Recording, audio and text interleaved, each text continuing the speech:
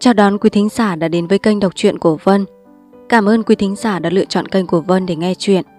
Quý thính giả thân mến, trong chuyên mục đọc truyện hôm nay, mời quý thính giả cùng đón nghe phần cuối của tiểu thuyết Lều Trõng, tác giả Ngô Tất Tố.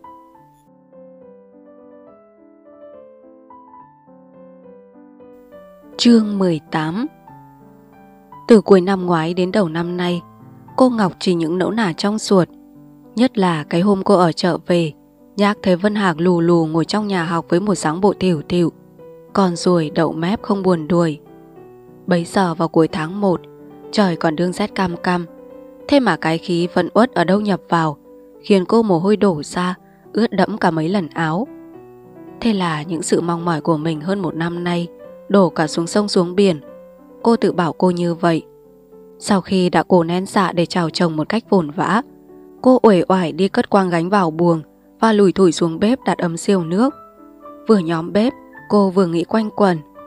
Quái lạ, anh chẳng văn hay chữ tốt, ai cũng phải ghen, làm sao đi thi lại cứ hỏng máy.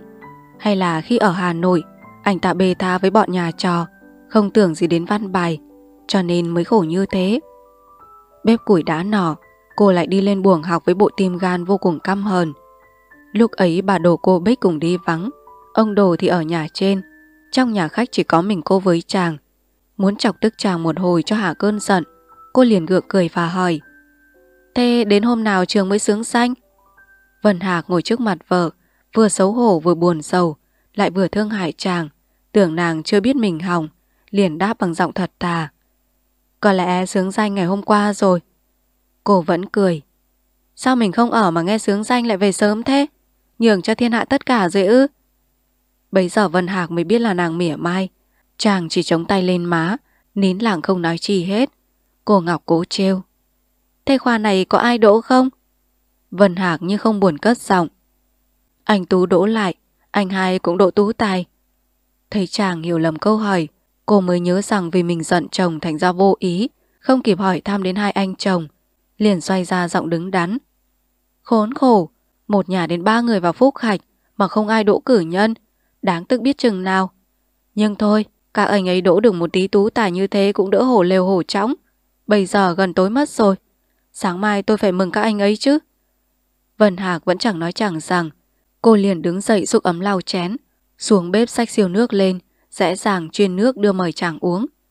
Cơn giận vẫn còn chưa hả, cô lại nói nốt câu chuyện đương sở. Mình ở Hà Nội về hay ở bên đảo Nguyên Sang? Tôi ở bên đảo Nguyên Sang. Mình về Đào Nguyên từ hôm nào? Tôi về Đào Nguyên hôm qua, vì thấy bác giáo kinh môn ở trong trường ra, nói là tôi bị hỏng tuột, nên sáng hôm sau, tôi và các anh về ngay, chẳng thiết ở lại xem bảng. Xem bảng làm quá gì nữa, tuổi trác khoa này cũng chẳng ai đỗ. Vân Hạc phát cáu. Sao mình nói lạ như vậy? Cả khoa không có ai đỗ, thì người ta đặt ra thi cử làm gì? Cô vẫn điểm nhiên. Vẫn còn có người đỗ ư? Thế sao mọi ngày mình thường nói rằng nếu mình không đỗ, thiên hạ chẳng thằng nào đỗ? Vân Hạc phì cười không nói sao. Cô cầm chén tống xẻ nước vào chén của chàng. Tôi vẫn chắc là mình đỗ. Có điều tôi vẫn chưa biết mình định cố đeo lều chóng đến mấy chục năm nữa. Hay là mình muốn bắt trước cụ Lương Hiệu? Ờ, khi tôi học sách Tam Tự Kinh, thầy nói cụ Lương Hiệu 82 tuổi mới đỗ kia mà. Mình mới 22 tuổi, hãy còn trẻ chán, đỗ làm gì vội? Vân Hạc nghe mỗi câu nói của vợ, tưởng như mỗi mũi dao găm đâm vào tim phổi. Mặt chàng đã đỏ bừng bừng, cô càng trêu thêm. Này mình ạ, tôi nghe ngày xưa có nàng gì đó, khi chồng thi hỏng, có đưa cho chồng một bài tứ tuyệt hay lắm. Tôi đã dịch ra tiếng nôm, thử đọc để mình nghe nhé. Rồi không đợi chàng trả lời, cô tiếp. Bài ấy như vậy. Văn quân trích trích hữu kỳ tài, hà sự niên bị phóng hồi, như kim thiếp diện tu lang diện, quân dục lai thời, đại dạ lai. Vân Hà gượng hỏi, mình dịch ra sao? Cổ đáp, tôi dịch là, nghe anh chữ nghĩa cũng bể bề, sao cứ 5 năm bị đuổi về, dày nghĩ mặt chàng ghê mặt thiếp, muốn vào anh hãy đợi canh khuya. Rồi cô nói thêm, hai chữ bể bề tôi lấy ở câu phong giao, văn chương chữ nghĩa bể bề đấy mà. Trích trích hữu kỳ tài, dịch ra chữ nghĩa bể bề cũng được chứ gì, phải không mình? Vân Hạc tuy biết là nàng chế mình, nhưng cũng thích rằng nàng có tài dịch thơ, liền đáp. Vâng, thưa bà được, xong tôi không bị ai ám, mình phải biết thế. Chàng ngừng một lát rồi thêm, nhưng cũng chưa bằng những câu của ông nào đó dịch bài lạc đệ của tâu. Và chàng hỏi, mình đã học đến hay chưa? Bài ấy thế này. Lạc đệ viễn quy lai, thê tử sắc bất hỷ, hoàng khuyển độc hữu tình, đường môn ngọa giao vĩ. Rồi chàng tiếp, không biết người nào đã dịch ra rằng thi hỏng về đến nơi, vợ con mặt không vui, chó vàng riêng có tình, giữa cửa nằm với đuôi. Cô Ngọc thấy chàng mắng mình bằng cách xa xôi, sợ chàng đâm khùng, liền tươi cười pha trò. Thế ra đối với các ông thi hỏng, vợ con không có tình bằng con chó nhỉ? Bà đổ cô Bích vừa về đến sân, làm cho câu chuyện bị sứt, Cô Ngọc vội vàng đi ra nơi khác, nhường chỗ cho mẹ nói chuyện với chồng. Nhưng mà bấy giờ, bụng cô vẫn bồi hồi không nguôi. Mỗi lúc trông thấy Vân Hạc, hình như cơn uất lại nghẹn lên cổ. Tuy đối với chàng, cô vẫn nồng nàn kính yêu, và ở trước chàng, cô vẫn giữ được vẻ mặt vui vẻ. Mãi đến ba bốn hôm sau, khi được nghe lỏm những câu Vân Hạc nói với ông Đồ hoặc các bạn hữu về cái duyên cớ làm cho chàng hỏng. Cô mới băn khoăn hối hận và tự trách mình đã oán trách chồng một cách vô cớ. Từ đó cô không trách gì Vân Hạc, nhưng lại trách cái số phận của mình. Anh chẳng thi cử vất vả thế này, có lẽ cũng là tại mình. Bởi vì số mình không được làm bà, cho nên anh ta mới bị hỏng mãi. Có đời nhà ai quyền thi quán trường. Quán trường đã định lấy đỗ thủ khoa, rút cục chỉ vì cái tội trẻ tuổi mà đến hỏng tuột. Nếu không vạ lây vì cái số phận của mình, anh ta có đâu lại bị tai hại như thế. Bởi cô nghĩ thế, nên cô lại rất ái ngại cho chàng. Và cô thương chồng bao nhiêu, cô càng đau xót cho cái số kiếp của cô bấy nhiêu. Những lúc đi chợ, nhiều khi cô đã cất lèn đến hỏi những cô thầy bói hay là những ông thầy số.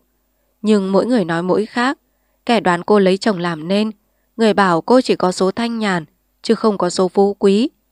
Chẳng biết tin ai là phải. Cô rất ghê sợ cho cái tương lai của mình. Nhiều lúc vô sự, nhớ đến cái ngày bị bệnh, mê man, làm nhảm, xưng là bà thám bà bảng. Tự nhiên cô thấy hổ thẹn vô cùng. Chỉ muốn giấu cái mặt đi, không muốn trông thấy ai nữa. Vì cô không biết sau này đời mình có được vậy không. Bây giờ thì không thế nữa. Nhưng sự phiền uất của cô cũng giống như bát nước nóng. Mỗi ngày nó mỗi nguội dần. Bây giờ cô đã quên hẳn cái việc hỏng thi của chồng và chỉ tính ngày tính tháng, mong cho chóng đến tháng 10 để chồng lại đeo liều chóng vào trường. Là vì tháng 10 năm nay lại có thi hương, khoa này mới là chính khoa, còn khoa năm ngoái là ân khoa. Vì cô sốt sáng với đường công danh của chồng như vậy, cho nên nhiều lần Vân Hạc tỏ ý chán sự thi cử, thì cô lại cố kiếm lời ngọt ngào, khuyên can một cách thấm thía, khiến cho lòng chàng cũng thêm phấn khởi và lại chịu khó để tâm về việc sách đèn. Đêm nào cũng vậy, cô đều cố thức rất khuya, hoặc dệt vải, hoặc đánh ống, đánh suốt, hay là khâu vá quần áo.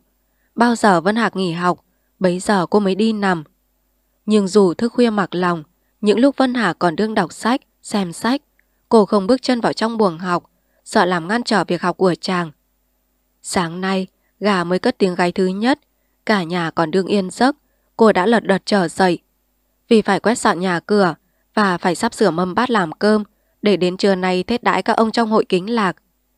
Hồi ấy trong nước đã yên, việc học đã dần dần trở lại cảnh thịnh vượng của đời Lê. Hầu khắp các tỉnh, Trung Châu, học trò đều có lập ra những hội văn học, người ta gọi là văn phả. Kính lạc văn phả của vùng Vân Trình, cũng như các văn phả của hạt khác, chủ ý chỉ để làm nơi luyện tập văn chương của các học trò gần đây. Văn phả ấy dựng lên đã 10 năm nay. Người ta mời cụ ngài Quỳnh Lâm và cụ Cử Mai định làm trưởng. Thường lệ cứ đến năm nào có khoa thi, thì một tháng hai kỳ, người trong văn phả họp lại một chỗ để cùng làm văn nhật khác.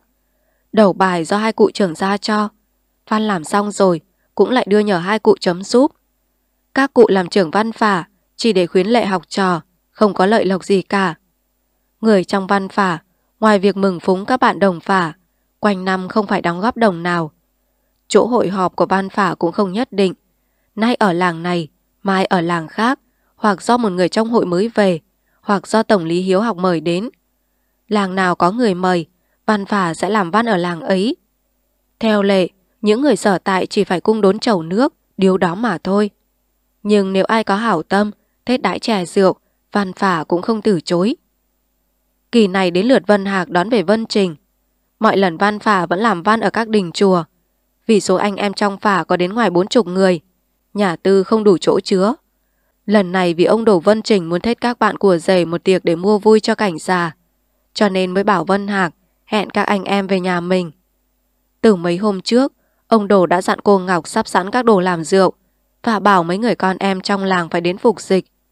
Lúc ấy cô Ngọc rửa mặt chải đầu vừa xong, bọn người phục dịch cũng vừa kéo đến. Bấy giờ cả nhà đã đều trở dậy. Theo lời dặn của ông Đồ, cô liền sai bảo bọn đó, mỗi người giúp đỡ mỗi việc. Kẻ thì kê lại giường ghế trên nhà thờ, người thì quét sạch nền nhà tiền tế, và trải chiếu liền chiếu lìa la liệt xuống đó. Các việc lặt vặt đã yên, cô bảo họ vào chuồng bắt lợn làm thịt. Mặt trời lên khỏi mặt đất chừng hai con sào. Đốc cung và độ hơn 10 người nữa lẻ tẻ kéo tới. Thấy cô lật đật chạy ra chạy vào, đốc cung cười hỏi. Chị giết lợn để thết chúng tôi đấy chắc. Cổ lễ phép đáp. Phải ạ, thầy em muốn mời các bác hôm nay ở đây rơi rượu. Độc cung vẫn cười. Cái đó tôi biết rồi. Nhưng chị làm rượu bằng cả con lợn thì cũng hoang quá. Cô vui vẻ nói. Thưa băng có gì mà hoang. Thầy em còn muốn mời thêm mấy ông trong họ và trong làng nữa. Khách ba chủ nhà bảy, nếu không giết lợn thì không thể đủ. Rồi đó, Đốc Cung và những người kia cùng theo Vân Hạc lên nhà thờ, sau khi đã chào ông đồ ở nhà khách. Chừng nửa giờ nữa, anh em Văn Phả cùng đến đủ mặt. Cũng như bọn bùi Đốc Cung, ai nấy kéo lên nhà thờ và ngồi ngổn ngang ở khắp các chỗ. Bút mực lồng chồng bày ở trên chiếu, nón sơn nón dứa ngổn ngang úp lên mặt tường. Giữa những tiếng nói huyên thiên, Nguyễn Khắc Mẫn xăm xăm tiến vào với mảnh giấy đầu bài, mời lính ở nhà cụ nghè Quỳnh Lâm. Kỳ này tập theo thể lệ của kỳ đệ tam trong chương trình thi hội. Cụ nghè ra cho ba bài, một bài chiếu, một bài biểu và một bài luận. Bài thứ nhất là Nghĩ đường Thái Tôn Quảng học xá tăng sinh viên chiếu. Bài thứ hai là Nghị Tống Giao mong tứ cập đệ tạ ân biểu. Còn bài thứ ba thì là Hán Văn Cung Kiểm Luận. Sau khi coi các đầu bài, Độc cùng bảo với Vân Hạc.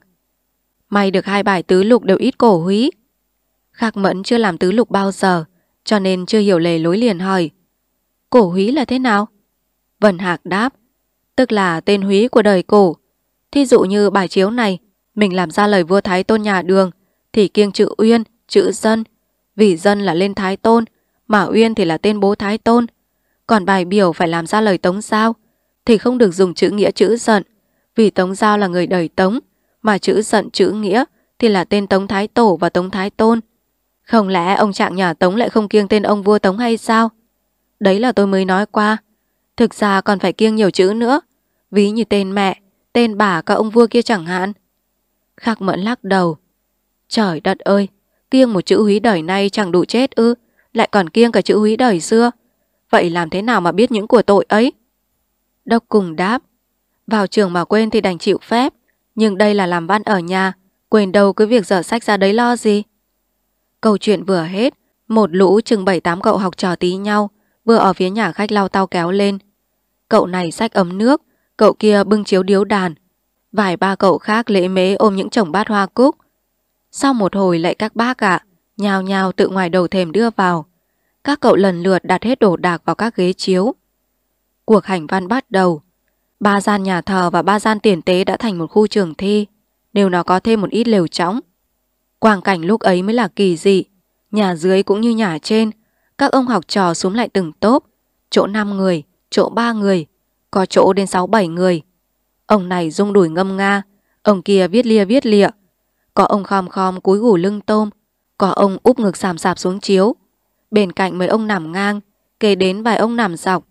Sau lưng những ông chồng đầu trở ra, lại có các ông quay đi trở vào. Họ bàn nhau, họ bẻ nhau, họ hút thuốc vặt, họ hỏi nhau về những chỗ sách bị quên. Trong nhà, lúc thì im lặng như tờ, lúc lại ẩm ẩm như chợ vỡ. Mặt trời từ từ lên khỏi ngọn bưởi, ánh nắng lui xuống nửa bước mảnh mảnh, tự nhiên thấy mất khắc mẫn. Vân Hạc tưởng thầy trốn lên nhà học làm văn cho tĩnh cho nên cũng không để ý. Nhưng khi chàng về nhà học thì cũng không thấy, hỏi khắp mọi người chẳng ai thấy thầy đâu cả. Gần chưa? Vân Hạc đã viết xong một bài chiếu và nửa bài biểu. Khắc Mẫn vẫn chưa về. Cả nhà đều lấy làm lạ. Người ta cho là Khắc Mẫn không quen nghề văn tứ lục, nên thầy bỏ không viết nữa. Thình lình có cậu học trò bé con ngơ ngác, chạy vào nói nhỏ với Vân Hạc. Thưa cậu, ông Mẫn làm sao không biết, cháu thấy ông ấy vào trong chuồng tiêu từ sáng đến giờ chưa ra. Vân Hạc phỉ cười. Không lẽ nó định chiếm cái nhà sĩ của mình? Rồi chàng lật đật chạy ra sau vườn gọi thật lớn. Mẫn ơi, mày ngủ trong ấy đấy à? Khạc Mẫn huỳnh huỳnh từ trong chuồng tiêu chui ra và khì khì cười không trả lời. Thì ra thầy đương cố nghĩ một câu tứ lục mà không nghĩ ra. Tâm thần mải miết đi theo tư tưởng, khiến thầy không ngửi thấy mùi hôi nồng và quên rằng mình đưa ngồi ở trong nhà xí. Nếu như Vân Hà không gọi, chưa biết thầy sẽ ở đó đến bao giờ. Trở về nhà thờ, Vân Hạc vừa cười vừa nói với đông cả đám. Tại ra ông ấy nghĩ văn ở chuồng tiêu, thật không kém gì Âu Dương Tu. Rồi chàng tiếp. Ở sách quy điển lục, ông Âu Dương Tu có nói, bình sinh ông ấy làm văn, phần nhiều ở ba chỗ trên, trên gối, trên chuồng xí và trên lưng ngựa. Vì những chỗ đó đều rất có thể nảy ra tứ văn. Có lẽ ông Mẫn nhà mình cũng định đi tìm tứ văn như cụ Âu Dương đây hẳn. Khạc Mẫn vừa vào, cả đám đều phá lên cười. Độc cùng nói thêm. Thằng nào vô phúc hôm nay người văn ông Nguyễn Khắc Mẫn. Trời đã đúng chưa? Quyền của học trò đóng dấu nhật chung gần hết. Người nhà ông đổ nghễu nghẹn bưng lên những mâm xôi chè đầy lù. Sau khi xin phép các ông học trò, bọn đó lần lượt đặt hết các mâm vào khắp các dãy giường chiếu. Ông đồ với bộ khăn áo chỉnh tề, cùng kính đi khắp các chiếu để mời anh em điểm tâm. Rồi ông cũng ngồi luôn đó uống nước với họ. Tiệc nước cử hành trong khoảng nửa khác, cuộc hành văn lại tiếp tục một cách sốt sắng. Nhiều người đã xong bài chiếu, có người xong cả bài biểu. Tiếng ngâm vang mấy gian nhà, như muốn làm xô các lợp mái ngói. Vân Hạc như mọi khi làm văn rất nhanh. Hôm nay vì phải luôn luôn chạy đi chạy lại, cho nên cũng mất thì giờ. Mặt trời tà tà, chàng mới viết được đủ quyền, lại phải trở về nhà khách xem sóc cỗ bàn. Ngôi chùa đầu làng vang vàng điểm tiếng chuông chiều. Ngoài nẻo điếm tuần, dịp chống thu không, mỗi lúc mỗi rút ngắn lại. Bấy giờ hơn 3 phần tư học trò đã viết xong quyền. Mấy ông chưa xong cũng phải viết quấy viết quá cho xong. Trong mấy bộ dạ dày đựng chữ, hình như mấy bát xôi chè đã cùng theo chữ mà hóa ra văn. Làm ông đã thấy đói cuống đói cuồng. Nhưng ông sỗ sàng càng thúc Vân Hà có cho uống rượu thì bảo bưng mâm mau mau. Các quyền đã được thu vào một đống. Trường văn liền biến ra một đám khao. Dưới tiền tế cũng như ở trên nhà thờ. Những dãy mâm dàn thẳng tắp, chạy suốt từ ngoài cửa vào trong vách. Một lần nữa, ông đổ chỉnh tề khăn áo ân cần mời bọn hậu sinh. Mấy ông già trong họ ngoài làng của ông cũng bị mời cả lên đó. Dưới ánh sáng rực rỡ của hai dãy quang đèn, tiệc rượu răm rắp khai cuộc trong một cảnh tượng lễ độ và thân mật, sau khi mấy người hơn tuổi đã thay mặt anh em đi chào cô Ngọc và bà Đồ. Mặt trăng lên đến đỉnh đầu, cuộc rượu mới tan. Bấy giờ đã cuối tháng 2, tiết trời bắt đầu ấm áp. Hết thảy mấy chục học trò đều ngủ lại đó. Mở sáng hôm sau, mọi người lẻ tẻ ra về, trừ mấy ông bạn thân của Vân Hạc. Trước sự sốt sáng của nhà vợ, Vân Hạc vô cùng cảm động. Chàng tự thấy rằng nếu mình không đỗ, thật là một kẻ đại tội với gia đình. Vì vậy, chàng càng cố gắng. Mỗi tháng ngoài những kỳ tập ở trường cụ bảng Tiên Kiều, chàng không bỏ một kỳ văn nào của anh em văn phả. Từ đấy đến ngày sắp thi, sòng xã trong 7-8 tháng, trừ những lúc ăn lúc ngủ, tay chàng cơ hồ không rời quyển sách lúc nào. Thấy chàng mải miết về việc đèn sách, cô Ngọc sung sướng rất mực. Chương 19 Lần này cái việc đi thi đối với Vân Hạc đã thành một việc rất thường, không hơn gì việc vợ chàng đi chợ. Vì đã hỏng đến ba khoa liền, chàng không dám coi là việc long trọng. Tuy rằng trước ngày khởi hành, họ nội họ ngoại, họ nội họ ngoại cũng vẫn tiễn tặng cầu chúc như xưa. Nhưng mà người ta ân cần với chàng bao nhiêu, chàng càng tự thẹn bấy nhiêu.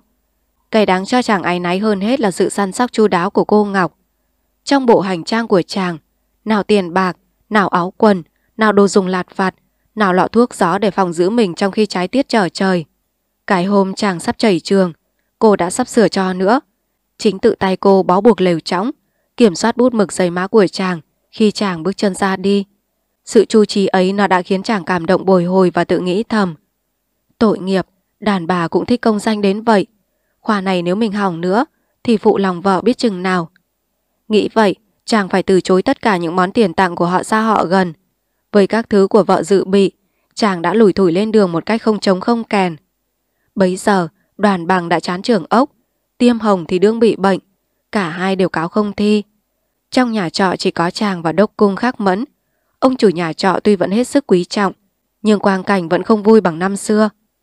Ở trọ thấm thoát đã gần 2 tháng, chàng không về quê lần nào. Mọi khoa, mỗi kỳ thi xong, chàng đều vững chắc trong lòng. Khoa này mỗi lần ở trong trường ra, chàng lại băn khoăn lo ngại, không biết kỳ sau có được vào không. May sao trong ba kỳ trước, ba người đều được vào cả. Đến kỳ thứ tư, khắc mẫn bị hỏng, chàng và đốc cung hết sức ngậm ngùi. Vì có đốc cung với chàng cố tình trèo kéo, khuyên bày ở lại xem bảng tú tài, cho nên khắc mẫn cũng không về vội. Nhiều lần đốc cung khắc mẫn sát nhau đi chơi bê tha, họ cũng rủ chàng, nhưng chàng nhất định không đi. Những lúc đó một mình nằm buồn, nhầm lại văn bài các kỳ, và thấy kỳ nào mình cũng rất xuất sắc, chàng cũng tự phụ. Không lẽ văn chương thế này mà còn hỏng nữa? Nhưng cái tự phụ chỉ là chuyện trong chốc lát, còn sự lo hỏng thì vẫn quanh quẩn đeo chàng suốt ngày suốt đêm.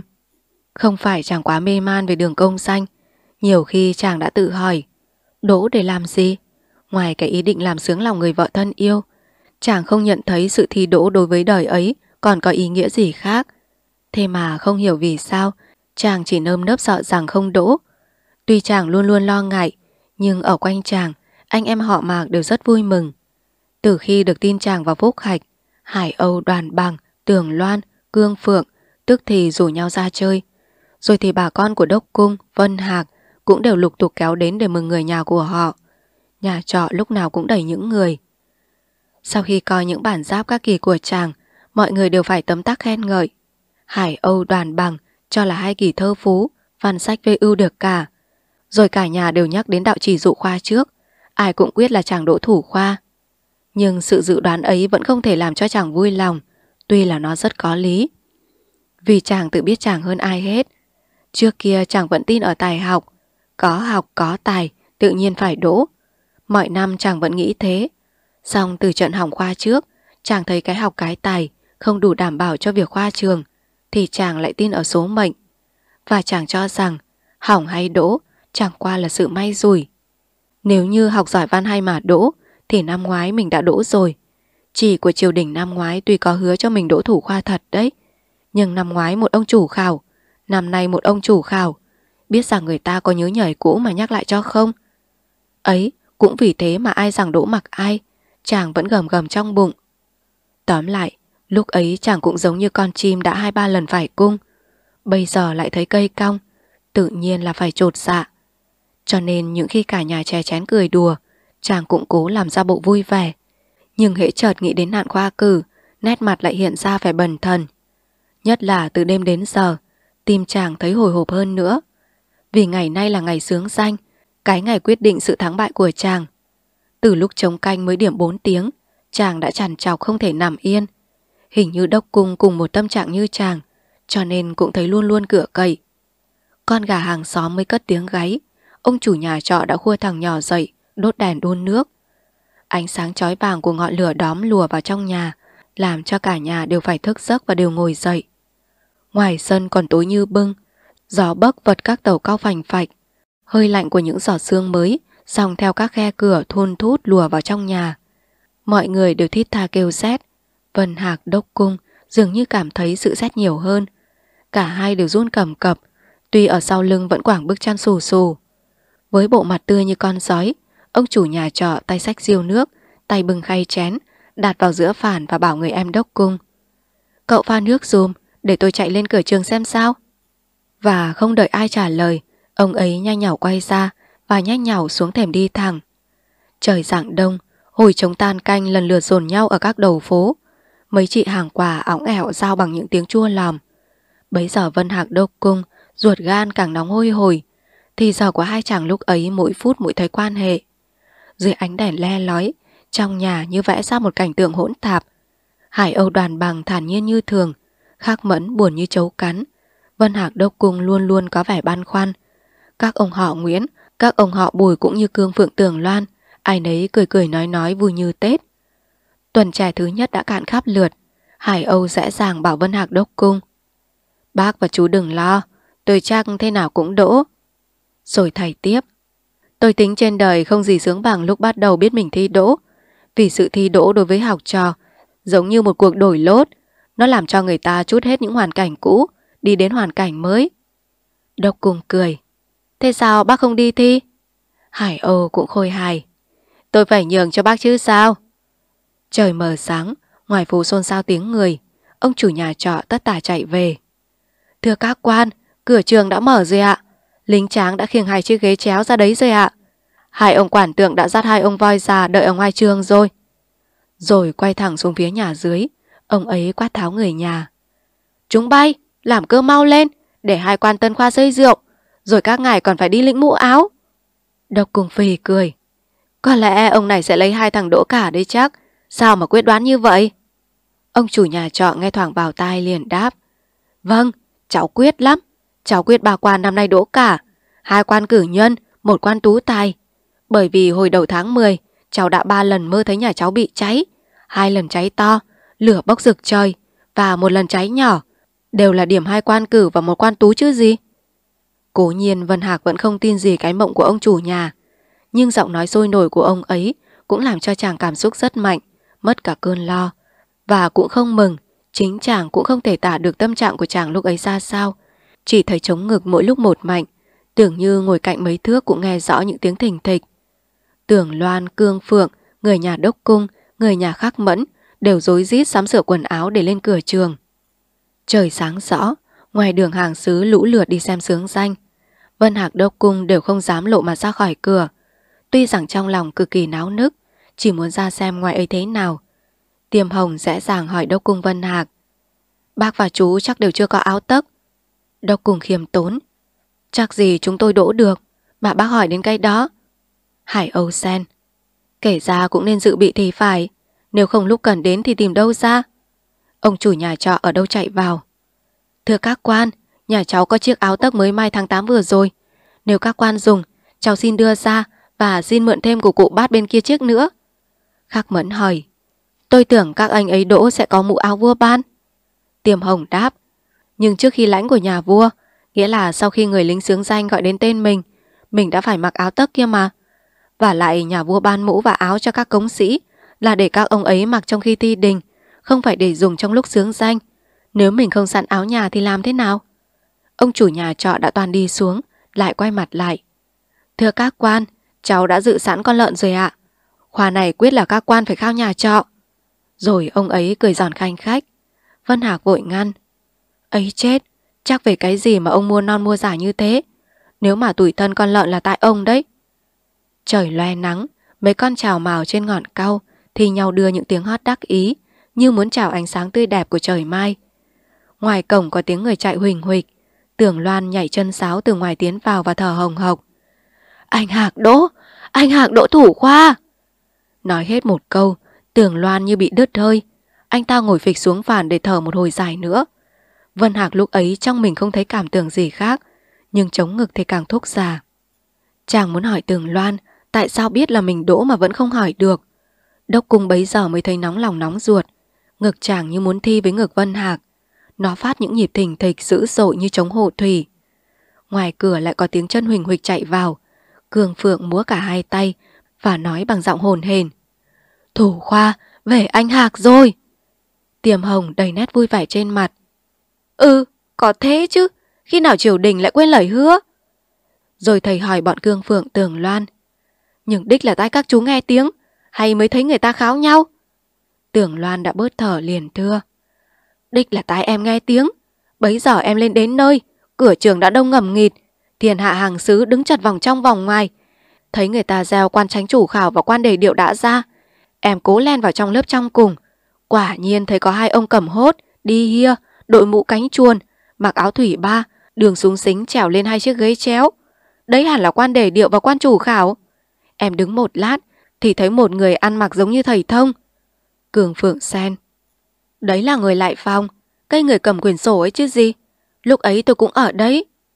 Tưởng Loan vội đón. Phải, cây người cầm quyền ấy. Ông ta nhìn vào quyền sổ, rồi nói nhỏ với người lính mặc áo nẹp đỏ sau đó. Người lính ấy liền trông ra ngoài và gân cổ sướng một câu thật lớn như vậy. Cử nhân đệ nhất danh, Đào Vân Hạc, niên canh nhị thập tam tuế, quán tại Sơn Tây, đảo Nguyên xã. Em nghe thấy tên anh Hạc, sướng quá đi mất. Đường sắp lách ra, thì ở phía ngoài lại có người lính cũng áo nẹp đỏ, cầm loa ngửa mặt lên trời, và lại gọi thêm một lần nữa. Lúc em ra được bên ngoài, thì thấy hai người quản tượng cưỡi hai con voi đi ra hai ngả. Người ta bảo họ đi tìm ông thủ khoa, không biết có phải hay không? Ông chủ nhà trọ lính quính, chạy vào và góp một câu. Bẩm phải đấy ạ, các ông quản tượng đi sướng danh ở các phố đấy ạ.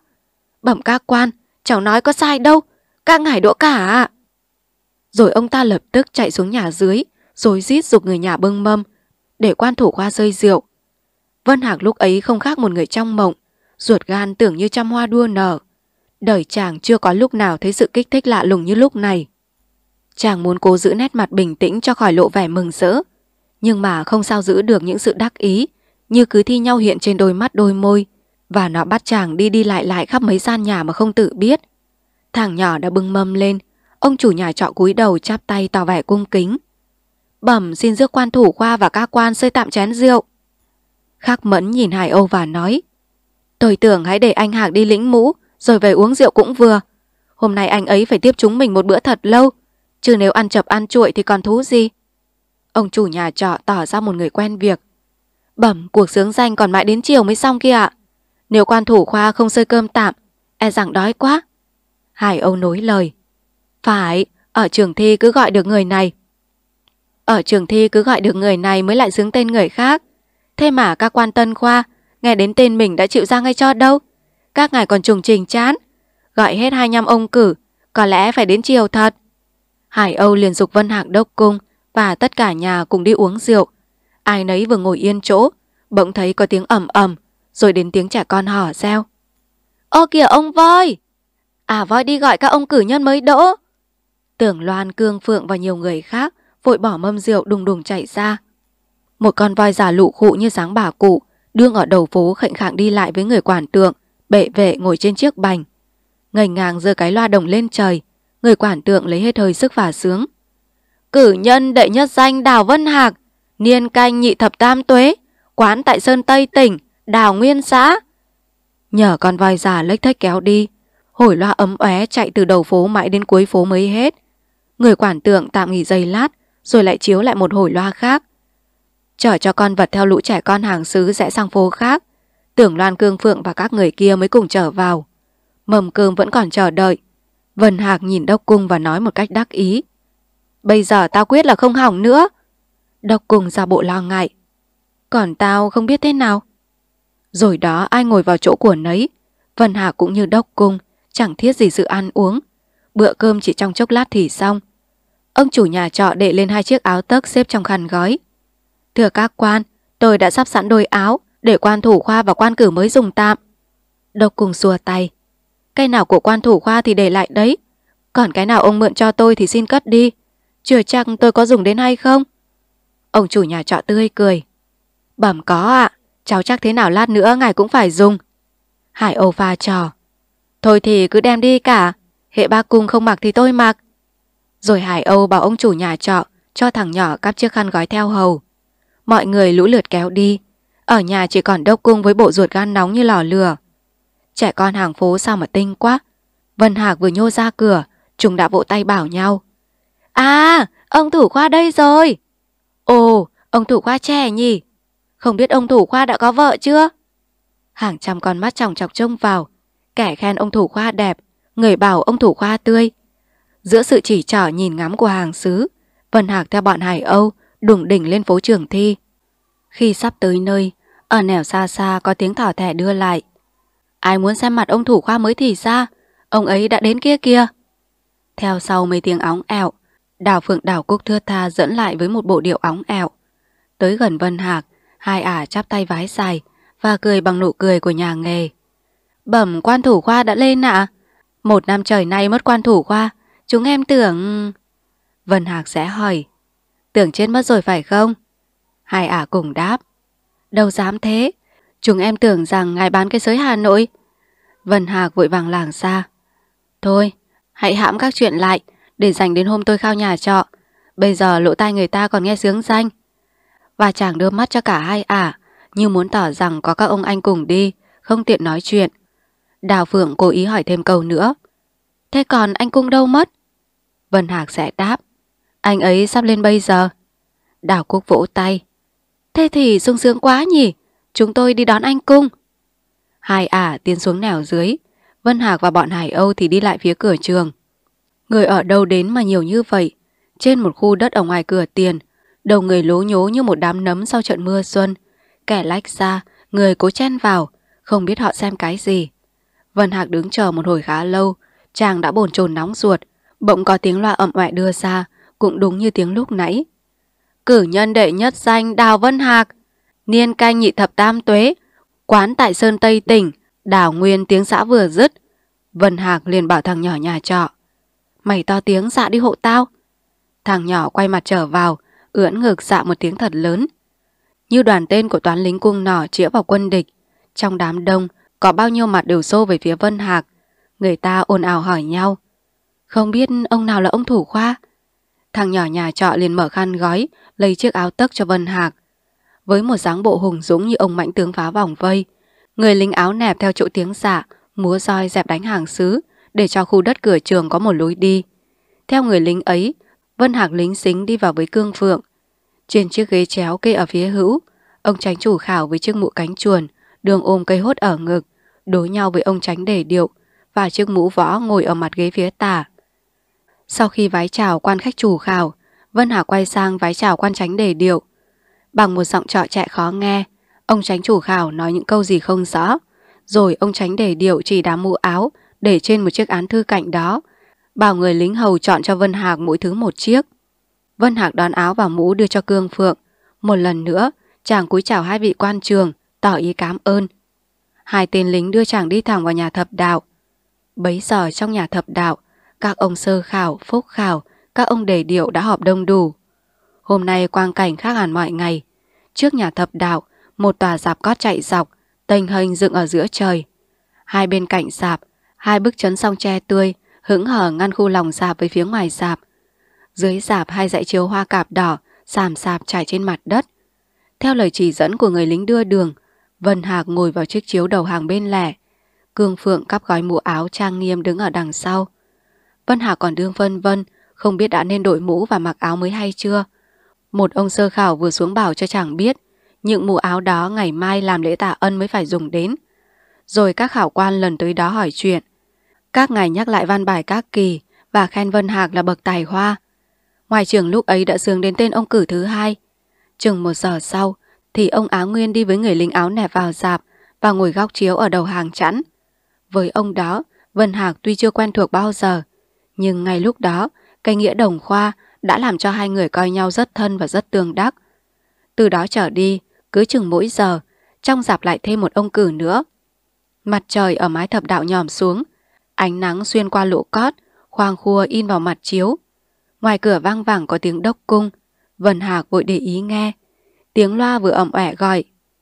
Cử nhân đệ bát danh bùi đốc cung, niên canh nhị thập nhị tuế, quán tại Hà Nội tỉnh, Trúc Lâm xã. Vân Hạc mừng quá, chàng liền đem hết ra thế tính tình, tài học của Đốc Cung kể với các bạn đồng niên. Một hồi khá lâu mới thấy Đốc Cung ve vẩy đôi tay khấu của chiếc áo tấc lụng thụng, đi vào với người cháu họ, cắp bộ. Cắp bộ mũ áo của chàng vừa lĩnh. Người chàng khi ấy đã thành một thiên trào phúng rất có ý vị, khiến cho Vân Hà không thể nín cười. Các ông vào trước lần lượt khai tên họ với ông vào sau. Giữa cuộc gặp gỡ của cửa không sân trình, câu chuyện thanh khí mỗi lúc mỗi nồng nàn đàm thắm. Mặt trời tà tà, hai nhăm ông cử đến đã đủ mặt, trong đó có đến bảy ông đều là học trò của bảng Tiên Kiều. Sau khi bảng cử nhân và bảng tú tài đã yết ở ngoài cửa trường, hai ông chủ khảo đề điệu lại về trong nhà thập đạo. Lúc ấy quan tổng đốc Hà Nội mới vào trong trường, chúc mừng các ông Tân Khoa và hẹn giờ mão ngày mai đến đây ăn yến. Rồi đó, các ông Tân Khoa đồng thời đứng dậy và cùng giải tán theo mệnh lệnh của quan chủ khảo. Ra khỏi cửa trường, Vân Hạc Đốc Cung liền cởi áo tấc, trao cho thằng nhỏ nhà trọ. Hai chàng định cố len vào xem bảng tú tài. Vừa thấy Tưởng Loan đi tìm, và nó cho biết khắc mẫn được đỗ tú tài đội bảng. Đốc Cung vui cười. Cứ như sức học anh ta, thì đỗ đội bảng tú tài cũng phải. Nhưng giá được trên một người thì danh giá hơn. Vân Hạc cũng cười. Đến anh bảng tao năm ngoái cũng chỉ đỗ trên hai người, huống chỉ thẳng mẫn. Thôi thì đội bảng cũng được, miễn làm được là ông Tú, cũng sướng cho nó lắm rồi. Đi vài bước nữa thì gặp Hải Âu đoàn bằng. Không hiểu ai đã báo tin cho biết, Khắc Mẫn lúc ấy cũng đã tới đó. Cả bọn ngây ngang trở về với sự hoan hỉ của một toán quân thắng trận. Tưởng Loan vừa đi vừa kể. Lúc nãy có một ông cử lạ quá, người lính sướng danh vừa bác loa gọi. Ông ta liền nắm hai tay đấm mãi vào chiếc nón sơn để trước ngực, rồi nhảy như con choi choi, và ra một thôi xỏ lợn về ai. Lúc đầu ai cũng tưởng là người điên, về sau có người nhắc rằng, sao không dạ đi? Ông ta mới dạo một tiếng rất lớn. bây giờ hàng xứ mới biết đó là ông cử. Hải Âu bật cười. Chắc là ông đó đã hỏng nhiều khoa, cho nên bây giờ được đỗ mới sướng như thế. Mặt trời sắp lặn, cả bọn mới về đến nhà. Quang cảnh nhà trọ đêm ấy, cố nhiên phải cực náo nhiệt. Sự vui vẻ có phần có hơn đám hội. Ông chủ nhà trọ và nhiều người khác đều phải thức đến sáng bạch. Hôm sau, vào khoảng nửa buổi, Vân Hạc Đốc cùng sắm sửa khăn áo chỉnh tề, rồi mỗi chàng đem một người sách gói mũ áo đến trường thi. Bấy giờ quan trường đều đã tể tiệu ở nhà thí viện. Cụ Bảng Tiên Kiều, cụ Nghè Quỳnh Lâm, cụ Cử Mai Đình và nhiều văn thân các tỉnh cùng được mời đến. Sau khi hai chàng vái chào khắp lượt, cụ Cử Mai Đình liền nói cho các quan biết khoa này học trò cụ Bảng Tiên Kiều chiếm một góc bảng cử nhân. Cử tọa đều hết sức ca tụng, phục cụ là bậc sư biểu của sĩ Lâm. Một lát sau, các ông cử mới lục tục đến dần. Theo lệnh quan tránh chủ khảo, hết thảy mọi người đều lên nhà thí viện làm lễ. Chính giữa thí viện vừa mới thiết lập một chiếc hương án. Tán vàng tán tía phấp phới dương trên những ngọn bạch lạp sáng rực. Cảnh tượng khi ấy mới đẹp làm sao. Hàng mấy chục mũ cánh chuồn nghênh ngang, hàng mấy chục áo đại trào khoang khua, rồi hàng mấy chục áo tấc màu lam tha thướt như lưới đánh cá. Khói trầm nghi ngút bốc trên hương án, chiếc trống theo nhau đưa ra những tiếng tủng bu. Cuộc hành lễ bắt đầu. Đấy mới là lễ bái vọng. Quan tránh chủ khảo xuống xính vào trước. Qua năm lần hưng bái, ngài đi lùi ra và đứng sau phía bên hữu. Đến quan phó chủ khảo cũng đủ hưng bái năm lần. Rồi ngài cũng lùi xuống đứng sang phía bên tả. Rồi đến các ông ngự sử, đề điệu, phân khảo, giám khảo, phúc khảo, sơ khảo. Ai lớn vào trước, ai nhỏ vào sau. Mỗi ông cũng phải hàng năm lần và bái năm lần. Hết bộ quan trường, đến lượt quan tổng đốc sở tại và văn thần các tỉnh. Cũng như hai ông tranh phó chủ khảo, các ông sau này lễ xong cũng phải đứng ra hai bên. Ông nào ông ấy hai tay chắp ngực, nét mặt nghiêm trang. Bây giờ mới đến các ông cử mới. Đây là lễ tạ ơn nhà vua lấy đỗ. Cố nhiên mỗi người cũng phải năm lễ. Hết hai trăm rưỡi cái lên gối, xuống gối. Các ông tân khoa cũng đứng giản ra hai dãy. Bây giờ đến lễ tạ ân mũ áo. Hai nhăm các ông tân khoa phải xì sụp 125 cái. Lần này đến lễ tạ ơn cho Yến. Mỗi vị tân khoa lại phải phủ phục thêm năm lượt nữa. Xong cuộc tạ ân nhà vua, đến cuộc tạ ân phòng sư. Những ông tân khoa đều tạ quan trưởng hai lễ. Lúc này mới thật là hỗn độn. Ông thì lễ sang phía tả, ông thì lễ sang phía hữu. Có ông lễ vung tàn tán, chẳng biết mình lễ ai. Tan các cuộc lễ, các quan và các ông cử đều ra ngoài dạp dự yến. Tiệc này là yến lộc mình, do quan tổng đốc sở tại lĩnh tiền trong kho, giao cho đội tuần sửa soạn. Theo lệ, các cỗ chia làm ba hạng. Hạng nhất, mỗi cỗ ba quan. Hạng nhì kém đi 5 tiền. Hạng ba thì chẵn hai quan một cỗ. Bấy giờ ở ngoài dạp, cỗ bàn đã bày la liệt. Các quan khách và các công sĩ, rồi các lại phòng, ai nấy cứ theo ngôi thứ mà ngồi. Hai ông tránh phó chủ khảo ngồi riêng một bàn. Ông tránh để điệu ngồi với các ông giám khảo. Quan tổng đốc sở tại ngồi với các khách văn thân. Đấy là những cỗ hạng nhất, số người không nhất định. Mấy ông phân khảo, ngự sử và phó đề điệu ngồi với các ông phúc khảo, sơ khảo. Đây là cỗ hạng nhì, mỗi bản 4 người. Các ông cử mới và các lại phòng đều ngồi vào cỗ hạng 3. Cử nhân mỗi bản cũng 4 người, lại phòng thì phải 6 người một bàn. Các bàn ngồi vào vừa yên chỗ, ngoài cửa nghe có tiếng dép lẹp kẹp. Một lũ đảo kép lố nhố tiến vào trước sạp với các sênh phách, đàn trống. Thì ra hôm ấy là ngày đại yến, bao nhiêu danh ca trong tỉnh đều bị gọi đến hầu tiệc. Đào Phượng Đào Cúc cũng có ở đó. Sau khi vái chào các quan, hai đào một kép xin phép ngồi xuống chiếc chiếu trải ngoài cửa sạp, còn các ả khác thì đến các mâm rót rượu. Theo lời đề cử của quan tổng đốc sở tại, ông thủ khoa mới phải đánh trầu. Người kép liền đệ trống và roi trầu đến chỗ Vân Hạc. Trống điểm, đàn dạo, phách dục chát chát. Tiếng hát bắt đầu ngân dài, các bàn lần lượt lên chén. Lúc ấy người ta mới kịp ngó tới các món trong mâm, đại để gần giống những món trong các đám khao, đám cưới. Cũng giò chả, cũng ninh nấu, cũng yến xào, vây cá, bảo ngư, long tu. Chỉ hơn bốn bát trên mặt, có cả những mảnh trang kim trổ hoa vẽ thuốc, sạc sỡ như tờ trang kim ở hòm pháo. Đó là mấy món tứ linh, món long nấu bằng cá chép, giấy trang kim trổ hình vây rồng vẩy rồng, món phượng nấu bằng con gà, giấy trang kim trổ hình cánh phượng, đuôi phượng, món quy nấu bằng con vịt, giấy trang kim trổ hình mai rùa, đuôi rùa, món ly thì là một chiếc chân lợn, giấy trang kim làm ra đầu đuôi và bầm kỳ lân. Đàn càng réo sắt, phách càng giòn giã, tiếng hát càng lên cao giọng. Cuộc rượu mỗi lúc mỗi thêm vẻ nồng nàn. Vân Hạc đánh hết hai khổ, chàng liền nhường trống cho ông Á Nguyên. Theo lệnh quan tránh chủ khảo, một tên hình hầu đệ bút mực và bức hoa tiến đến chỗ Vân Hạc để chàng làm thơ niên nghị. Việc này chàng đã dự bị từ đêm hôm qua, bây giờ chỉ phải soát lại một lượt xem có chữ nào đáng chữa hay không. Rồi chàng viết luôn một bài ngũ ngôn đường luật đưa sang trình quan chủ khảo. Với những chữ nét sắc như cắt và tươi như hoa, viết trên một bức hoa tiên bóng bẩy, bài thơ như càng thêm vẻ xuất sắc. Ông tránh chủ khảo coi rồi mỉm cười khen được và gọi một người lễ sinh ngâm cho cử tọa cùng nghe. Bằng một giọng kêu như tiếng chuông, người lễ sinh đọc. Thỉnh thế văn phong uất, thu vi sĩ lộ hoành, long môn tâm điểm ngạch, hòe thị cửu chi danh, hồng bạch hoa tranh diệp, bình cao lộc cộng minh, như hà tương miễn lệ, vạn lý khán bằng trình.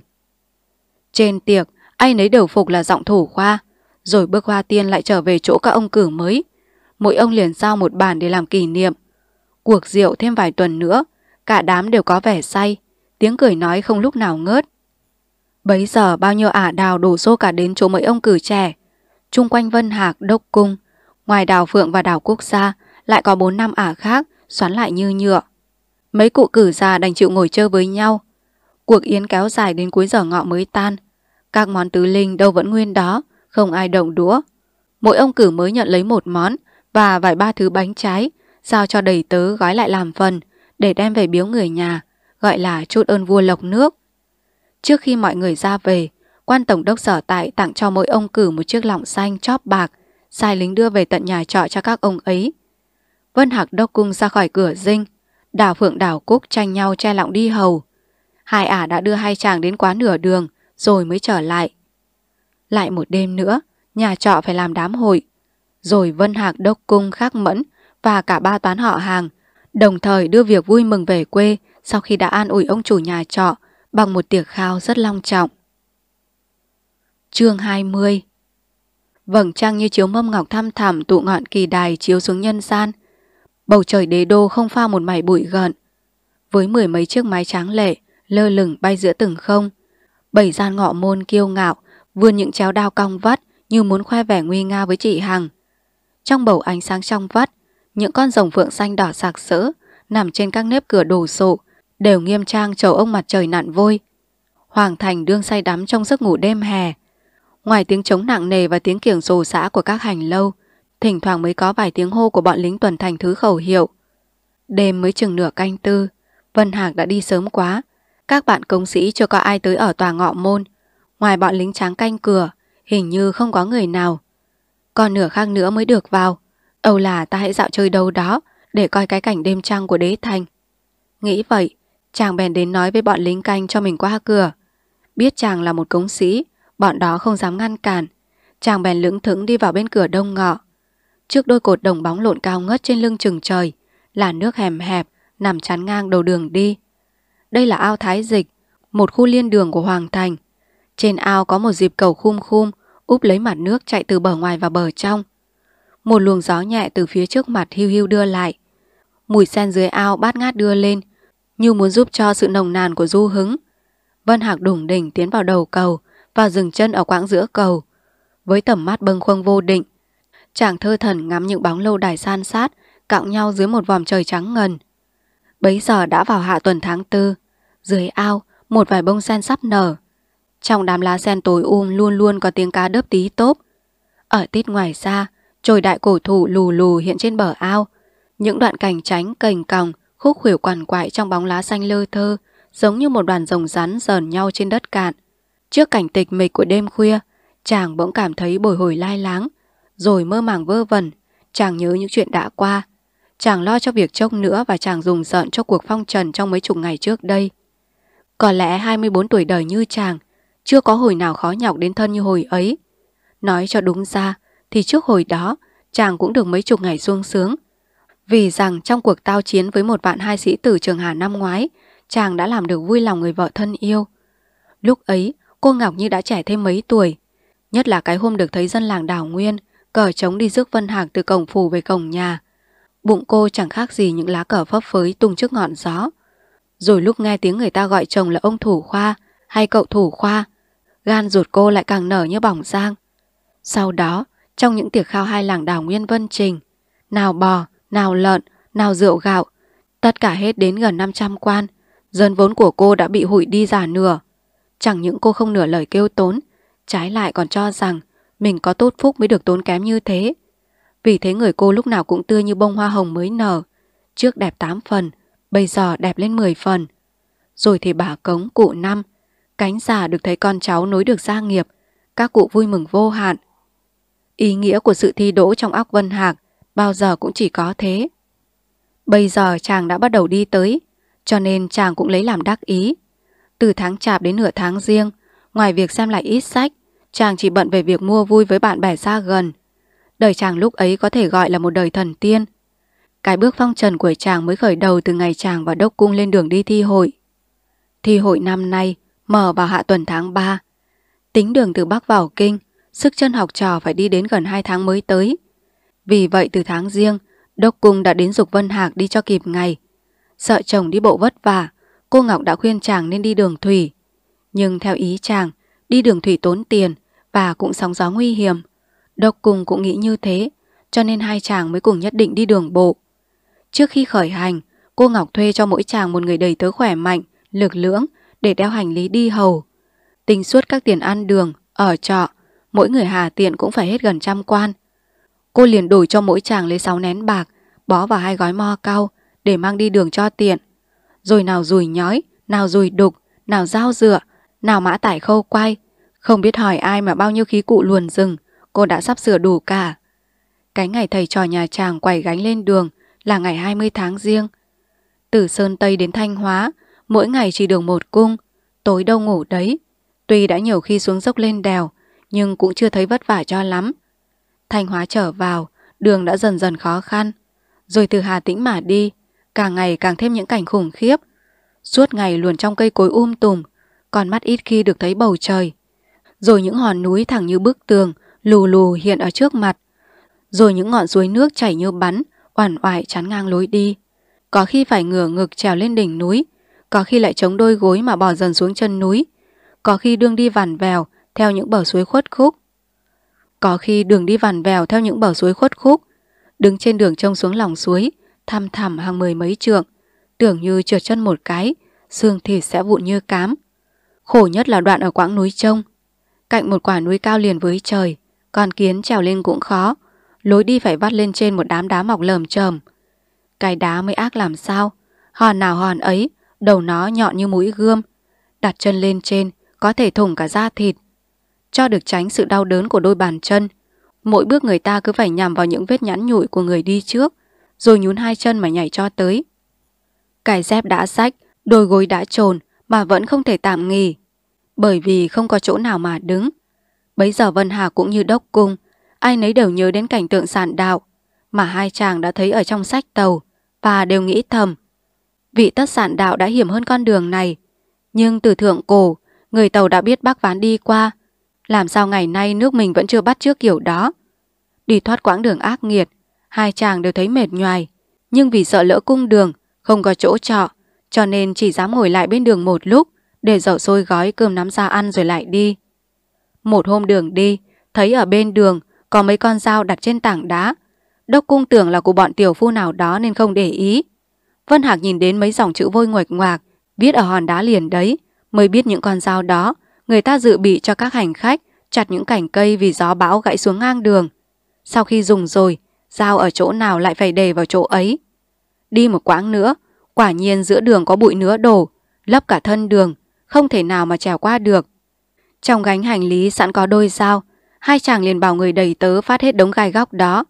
Họ phát, chàng và đốc cung thì kéo. Thầy trò dọn mất một hồi khá lâu, bấy giờ mới có lối đi. Lại một hôm khác, Vân Hạc vừa bị nhược sức về leo trèo, vừa bị dãi dầu trong xương gió. Chàng thấy trong mình hầm hập phát sốt, uể oải đi không buồn bước. Đốc cung và hai người quẩy gánh cứ phải luôn luôn chờ đợi. Tưởng chừng trời đã chiều rồi. Theo lỗ thủng trong đám lá cây mù mịt, ngó sang dãy núi bên kia. Mặt trời đã nằm giữa sát đầu núi, mà vẫn chưa đến nhà trọ. Hai chàng đều cuống lo sợ. Đêm nay đành phải ngủ ở ngọn cây. Vân Hạc bàn với Đốc Cung như vậy. Nhưng các cây cối gần đó, cây nào cũng cao vòn vót và thẳng đuồn đuột. Dưới gốc không có một mẩu cành nhánh, thì làm thế nào mà leo lên được. May khi lại gần thấy có mấy cây từ gốc đến chỗ xẻ chạc, còn đóng một hàng đanh tre bằng ngón chân cái. Trước kia đã có người nào ngủ trên cây ấy, người ta đóng những đanh ấy để làm bậc trèo cho dễ. Một cây thấp nhất đã long mất vài cái đanh, hai người đầy tớ phải đạn tre đẽo cái đanh khác, và họ dở gánh lấy rùi nhói và rùi đục ra. Người nọ kề vai làm thang cho người kia đứng lên, để nhói mấy lỗ ở thân cây và đóng đanh vào. Rồi họ đem các mã tải dùng dây tam cố buộc vào những cành đâm ngang, giống như người ta mắc võng. Đó là chỗ ngủ của người đi rừng. Có thế mới khỏi lo về nạn rắn rết beo cọp. Tay ôm thân cây, chân đạp vào các đanh tre, leo hết một đoạn gốc cây và đánh đu vào đoạn cành ngang để ngồi xuống tấm mã tải. Vân Hà cũng như đốc cung, ai nấy dùng mình sờn gáy, bụng bảo dạ, nếu nó đứt dây một cái thì thật tan xác. Hai chàng đã ngồi yên chỗ, hai người đầy tớ lại đi chặt lấy mấy tàu lá gồi, buộc lên trên chiếc mã tài để che cho người nằm dưới khỏi bị mưa sương, rồi họ mới trèo lên chỗ của họ. Trời tối như cửa địa ngục, nào cú kêu, khỉ ho, nào dế run rên khóc, thỉnh thoảng lại thêm những tiếng cọp gầm theo với ngọn gió tanh tanh, thôi thối ở nẻo xa xa đưa lại. Biết bao nhiêu sự ghê sợ rùng rợn kéo đến chung quanh hai chàng. Cơn sốt ở đâu nổi lên. Vân Hạc vừa nằm vừa rên hừ hừ, chàng tự hỏi chàng, không biết có sống mà về được không? Rồi chàng gọi với Đốc Cung và nói, nghĩ đến những lúc thế này, thì dẫu đi thi độ đến Ngọc Hoàng Thượng Đế cũng không bỏ công, đừng nói là độ tiến sĩ. Nằm thì nằm, vẫn không ai dám chợp mắt, vì sợ ngủ quên giờ mình sẽ bị ngã lăn xuống đất. Hôm sau, chờ cho trời thật sáng rõ mới dám bỏ xuống. Bấy giờ Vân Hạc đã tan cơn sốt, trong mình chỉ còn tải mải mệt nhọc. Bốn thầy trò lại kéo nhau đi. Ra đến cửa rừng trời lại sắp tối. Trông lên những đám đồi núi lù lù ở giữa trời, có thể tưởng như những con yêu quái khổng lồ đương sắp đe dọa nhân gian. Sau đó đường đi phần nhiều men ở lợi bể, trên thì núi đứng thăm thẳm, dưới thì sóng vỗ oảm oạp. Thân đường vừa quanh quất, vừa nhỏ hẹp, lại vừa gập ghềnh lượn lên lượn xuống như leo cầu vồng. Bốn người lò dò từng bước, chỉ sợ trượt chân xuống bể thì sẽ làm mồi cho cá. Đi mấy ngày nữa tới một khúc sông mênh mông, đứng ở bờ nọ, không thể trông thấy bờ kia. Hỏi ra mới biết, đó là phá Tam Giang, một cái cửa sông liền với mặt bể. Trong sông, sóng đánh dữ dội không kém sóng bể. Người ta nói rằng, ngày xưa còn rộng hơn nhiều, bây giờ nhờ có cát bồi nên đã hẹp bớt. Đi đò hết gần một ngày mới sang tới bờ bên kia. Bốn người đều thấy lảo đảo say sóng thốc tháo nôn mửa, nghỉ mất một đêm mới lại sức. Lận đận gần 20 ngày nữa mới vào đến Huế. Tính ra tất cả vừa hết một tháng 10 ngày. Sau khi vào thành tìm được chỗ trọ, hai chàng nghỉ ngơi vài ngày, rồi cùng đóng quyền đem vào nộp ở bộ lễ. Khác với thi hương, quyền của công sĩ thi hội phải để đệ lên ngự lãm, khảo quan chỉ được chấm vào bản sao. Vì vậy, công sĩ phải nộp một kỳ hai quyền, bốn kỳ tám quyền, đều bằng giấy lệnh. Có kẻ ô son, mỗi trang tám dòng, mỗi dòng 22 chữ. 6 quyển của ba kỳ thứ nhất, thứ hai và thứ ba, mỗi quyển chỉ đóng 10 tờ. Hai quyển của kỳ thứ tư thì đóng đủ ba chục tờ. Thi hội năm nay bắt đầu từ ngày 18 tháng 3. Trường thi lập ở trường Phú Thứ. Quanh trường đều có tường gạch bao bọc. Trong trường, ngoài nhà thí viện và những nhà ở của quan chủ khảo, quan tri cống cử và các quan nội liêm, ngoại liêm, lại có 10 tòa nhà ngói để cho công sĩ làm văn. Mấy tòa nhà đều ở trước nhà thí viện, mỗi tòa ba gian, mỗi gian ngăn làm ba phòng. Phòng nọ cách phòng kia chừng hơn một thước. Trong phòng có sẵn cái yên để công sĩ viết. Mỗi người công sĩ chỉ phải mang thêm bút mực và một chiếc chiếu. Trước ngày thi, bộ lễ phải sắm một số thẻ tre để tên từng người công sĩ, đem cắm ở các cửa phòng. Đến khi công sĩ vào trường, liền có bọn lính hướng dẫn đưa đi, thẻ tên ai ở phòng nào, họ sẽ đưa đến phòng ấy. Trong lúc công sĩ làm văn, mỗi phòng đều có một người võ sĩ cáp gươm đứng canh ngoài cửa. Ngoài trường thì có các quan đề điệu, đốc thúc voi ngựa quân lính đi diễu suốt ngày suốt đêm. Cũng như thi hương, Kỳ thứ nhất của tiếu hội cũng có 7 bài kinh nghĩa. Đáng lẽ mỗi người chỉ làm 3 bài cũng đủ quyền. Nhưng Vân Hạc xưa nay vẫn có thừa sức kiêm trị, nên chàng làm cả 7 bài, còn Đốc Cung thì cũng làm được 5 bài. Sau khi ở trong trường ra, hai chàng đều có đưa bản giáp cho các bạn coi. Cứ như người ta bình phẩm, thì quyền của Vân Hạc ít nhất cũng được 5 phân, quyền của Đốc Cung may ra thì được 3 phân. Bởi vì cân lạng của văn thi hội phải tính bằng phân, chứ không tính bằng ưu bình thứ liệt. Mỗi quyển cực điểm có thể phê đến 10 phân, nhưng nếu chỉ được một phân cũng là hợp lệ. Quyển nào cũng đủ một phân mới là bất cập. Cộng cả 4 kỳ làm một, người nào được từ 10 phân trở ra mà không kỳ nào bất cập, tức là trúng cách, sẽ được dự cuộc thi đình. Người nào được từ 4 phân trở lên cho đến 9 phân và cũng không có kỳ nào bất cập thì sẽ được đỗ phó bảng, chứ không được vào điện thí. Còn những người nào không đủ 4 phân hoặc có một kỳ bất cập thì đều bị đánh hỏng tuột.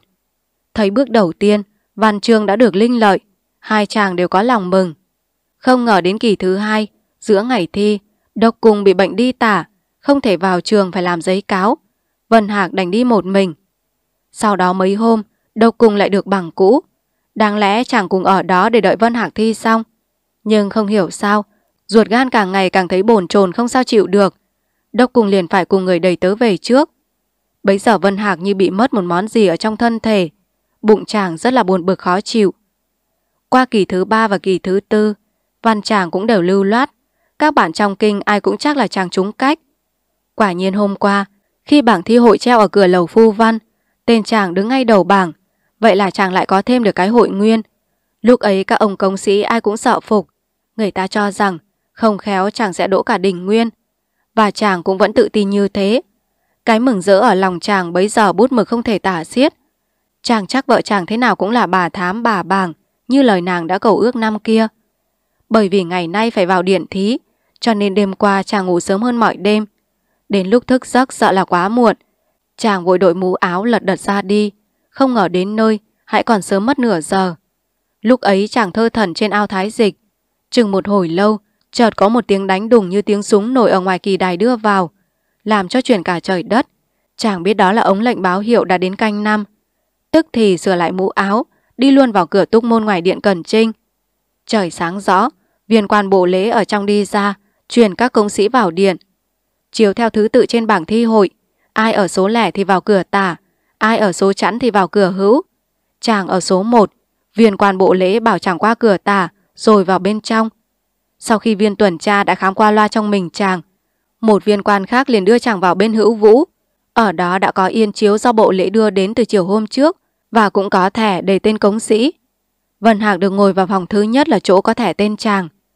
Bấy giờ, quan giám thí đại thần và các quan đọc quyền, truyền lô, duyệt quyền, kinh dẫn, di phong, thu trưởng, ấn quyền, điện bảng, vân vân đều đã mặc áo đại trầu trực sẵn ở đó. Ở điện cần chính cũng đã bày sẵn hai chiếc hương án thép vàng, một chiếc trên thềm, một chiếc dưới thềm. Công sĩ vào hết, viên thượng bảo liền bưng hòm đựng đầu bài thí sách của nhà vua ra, đặt lên chiếc hương án trên thềm. Quan giám thí, quan đọc quyền và tất cả các quan coi việc đình thí đều phủ phục trước điện, lễ đủ năm lễ. Rồi quan thứ tả lĩnh tờ đầu bài, chiếu số công sĩ sao đã mỗi người một bản. Chừng độ giây lát, các bản sao xong, quan thư tả để các bản ấy vào chiếc hương án dưới thềm, sau khi đặt bản chính lên chiếc hương án trên thềm. Quan kinh dẫn liền bảo Vân Hạc và các công sĩ đều ra quỳ ở trước sân. Rồi quan thư tá lĩnh những tờ sao đầu bài ở chiếc hương án dưới thềm, phát cho mỗi người một bản. Theo lệnh quan kinh dẫn, Vân Hạc và các công sĩ đều phải đứng dậy, đem bản sao đó để vào yên thi của mình, rồi lại ra sân lễ tạ năm lễ. Bây giờ đến giờ làm văn, công sĩ ai về chỗ nấy. Các quan văn võ đều phải ra hết ngoài viện đãi lậu. Trong điện, tả vũ cũng như hữu vũ, mỗi bên có một tên lính đóng cửa đứng canh. Sân điện có viên tuần la và viên tuần sát, đi lại tuần phòng. Ở ngoài hai cửa túc môn thì có 200 biện binh của quan thị nội thống chế phải đến canh giữ.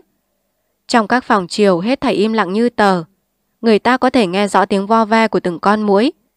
Vân Hạc mới dò đến tập đầu bài đã thấy hoàng hồn. Làm sao mà nó dài thế? Mười tờ giấy đặc, lý tịt những chữ là chữ. Coi qua một lượt, thì thấy nửa trên hỏi về ý nghĩa của các kinh truyện tử sử của tàu, nửa dưới hỏi về công việc hiện thời của nhà nước. Tất cả đến gần 100 câu hỏi. Chàng liền gấp lại và chỉ hò mấy dòng ở đầu cho lúc trông đến khỏi nóng ruột.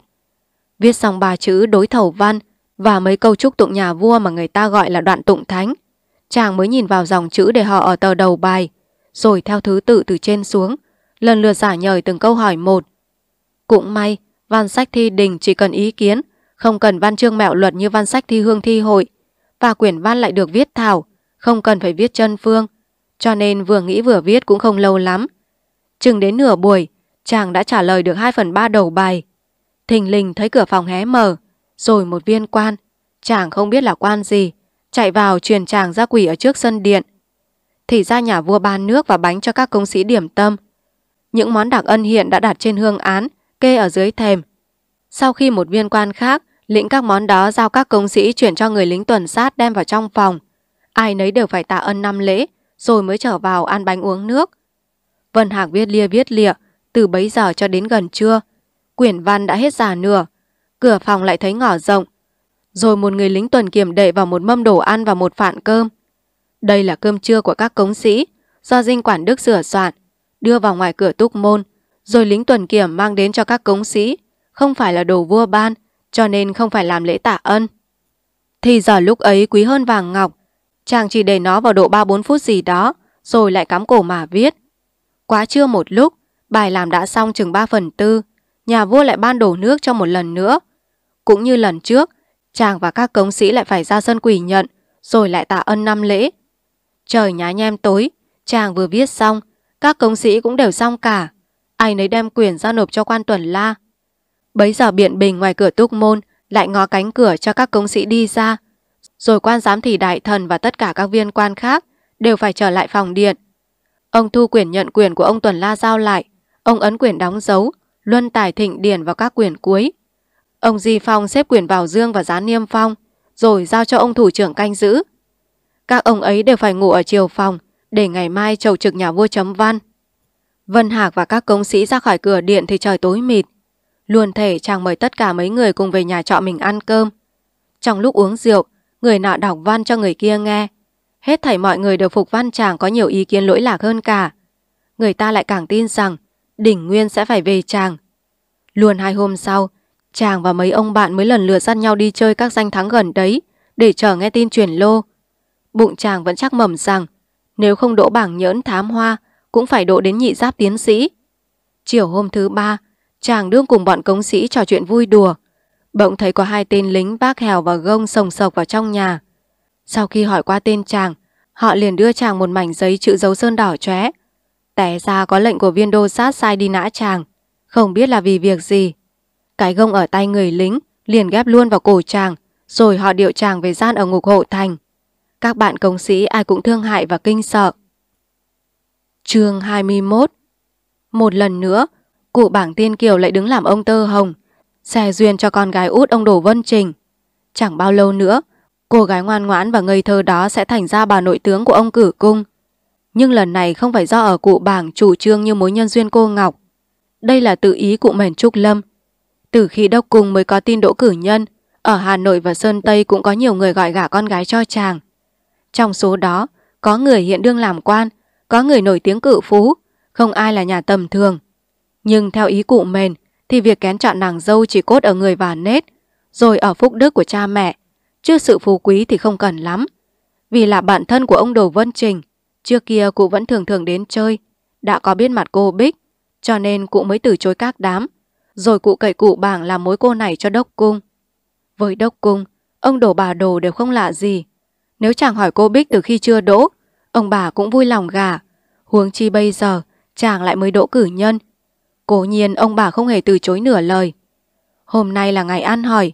Ông đổ nghĩ mình hiếm hoi lại đã ít tuổi. Ít khi có dịp được gặp anh em cố sao. Cho nên khi mới nhận nhờ nhà trai, ông có cho mời mấy ông bạn già gần đó đến chơi với mình. Từ lúc nửa buổi, cụ nghè Quỳnh Lâm, cụ cử Liên Trì, cụ cử Mai Đình, thầy nào tớ nấy đã cùng đến cả. Họ nội họ ngoại cũng đương lục tục kéo vào. Trong nhà rất là tấp nập. Chỉ có cô Ngọc sắc mặt vẫn buồn rười rượi nhiều lúc nước mắt chảy quanh, có khi lén vào trong buồng, lăn đùng trên giường bưng mặt khóc thầm. Là vì trước đây 7 ngày, người đầy tớ của cô thuê đi theo Hầu Vân Hạc vào kinh. Vừa về báo cho cô biết tin chồng bị bắt vào ngục. Thật là xét đánh bên tai cũng không sợ bằng. Lúc ấy, Mặt mũi cô không còn sắc máu, chân tay cô run cầm cập, chống ngực cô đánh thình thình, luống cuống, cô vội hỏi hắn vì cớ gì mà chàng bị bắt. Nhưng mà ai biết, chính chàng cũng còn chưa biết, huống chi đầy tớ của chàng. Ông đổ bà đồ cuống quýt lo sợ, lập tức cho người sang làng đảo Nguyên, nói với bà Cống và anh em Hải Âu. Bên ấy được tin, cả nhà đều kinh khủng. Bà Cống kêu khóc như mưa như gió. Ngay sáng hôm sau, Tiềm Hồng liền phải thuê người cùng đi với mình vào kinh để xem tình đầu ra sao. Thầy trò Tiêm Hồng đi được một lát, cô Ngọc cũng tới đảo Nguyên. Mọi người trông thấy đều phải giật mình, vì không biết rằng cô bắt đầu đi bao giờ mà bây giờ đã sang đến đó. Thì ra đêm ấy, cô những nóng lòng nóng ruột, chỉ muốn biết ngay tin tức của chồng. Cho nên mới đầu canh tư, cô đã cắp nón ra đi. Cốt về nhà chồng để xin phép mẹ và anh cho mình vào Huế thăm chồng. Nhưng bà Cống và Hải Âu đoàn bằng đều không bằng lòng cho đi. Sợ rằng thân gái giảm trường có thể xảy ra nhiều sự nguy hiểm. Và chăng đã có tiêm hồng đi rồi. Công việc thế nào sẽ có tin về, không cần phải thêm người đi nữa.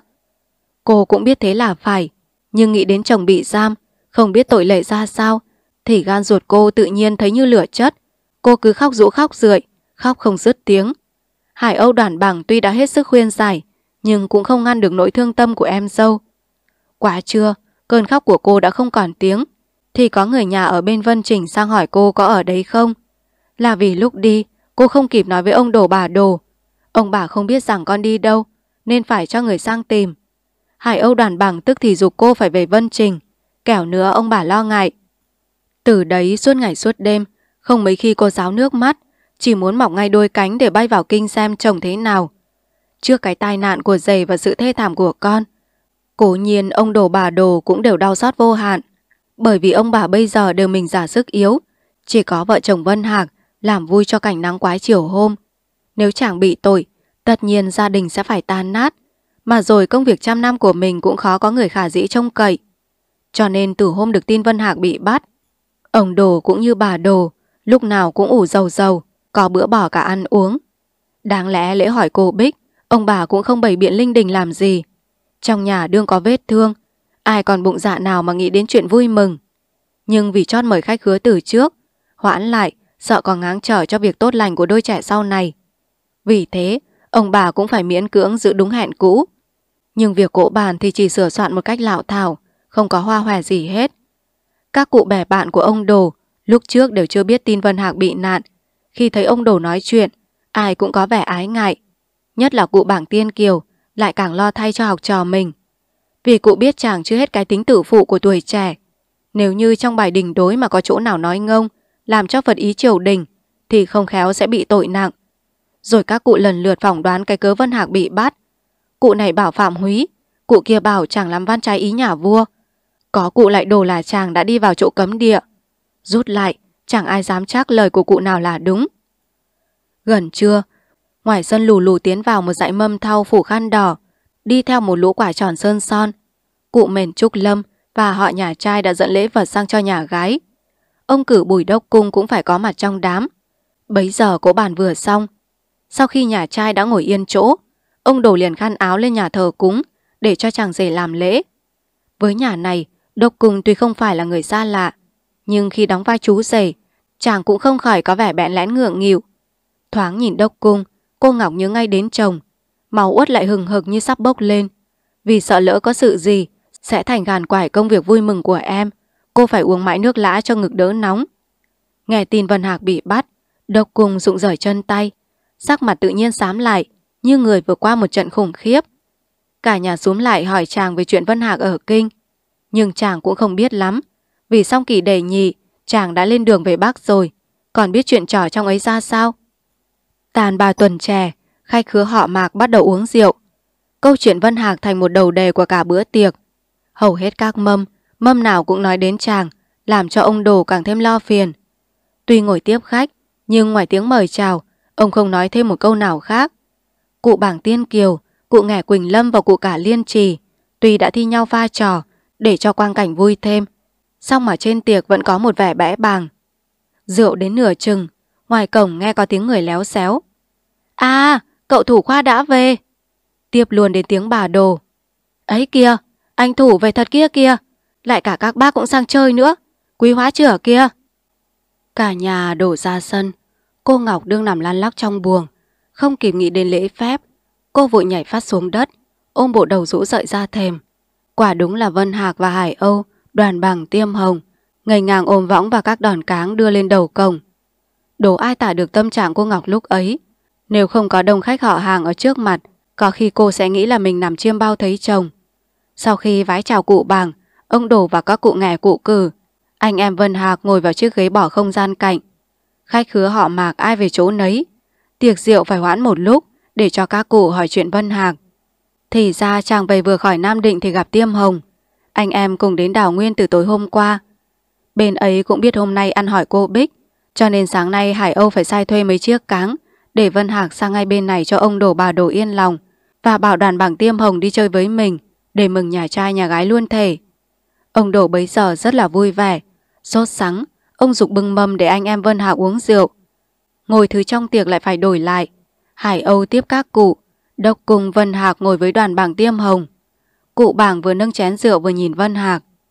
Thế anh được tha từ bao giờ? Vân Hạc lễ phép. Bẩm thầy, con chỉ bị giam hai ngày, đến ngày thứ ba thì được tha ra. Đến lượt cụ ngài Quỳnh Lâm. Vậy thì cậu đỗ hay hỏng? Vân Hạc tươi cười. Bẩm cụ, con hỏng tuột và bị cách cả thủ khoa. Ông Đồ tỏ vẻ ngạc nhiên. Anh bị tội gì? Vân Hạc vẫn tươi như hoa. Thưa thầy, vì đoạn trả lời câu hỏi, trí khôn dưỡng khí, con đã dùng lầm bốn chữ. Chẳng may câu đó bị quan đối độc tìm ra. Ngài liền tâu với Hoàng thượng, xin giao đình nghị. Vì vậy con mới bị bắt. Ông Đồ phàn nàn. Đã vào thi đình mà không biết những cái đó. Cụ bảng hỏi tắt. Vậy anh có được thi hương nữa không? Vân Hạc thưa. Bẩm thầy có ạ. Ngoài cổng bỗng có tiếng hỏi rất tơi tả. Anh thủ khoa đã về đây chưa? Theo sau tiếng nói, Nguyễn Khắc Mẫn với chiếc nón dứa quai lụa bạch, lù khù tiến vào trong cổng. Vân Hạc vội vàng chạy ra đón mời. Sau khi Khắc Mẫn vái chào tất cả các cụ, ông đổ liền bảo người nhà lấy thêm đũa bát, mời thầy ngồi với bọn Vân Hạc đốc cung. Vừa nâng chén rượu, Khắc Mẫn vừa trông Vân Hạc. Sáng hôm nay, tôi được tin anh bị bắt ở Huế. Đã định sáng nay thì sang đảo Nguyên hỏi thăm. May sao đến chiều hôm qua lại thấy nói anh đã về. Tôi đoán chắc rằng ngày nay thế nào anh cũng có mặt ở đây. Thế mà đúng thật. Vậy anh vào đình ra sao? Có phải thật anh bị bắt hay là người ta đồn nhảm? Tôi bị bắt thật đấy. Vân Hạc vừa nói vừa rót thêm rượu vào chén đoàn bằng. Rồi một lần nữa, chàng đem đầu đuôi câu chuyện mình ở kinh kể với Khắc Mẫn. Khắc Mẫn ra giọng vui mừng.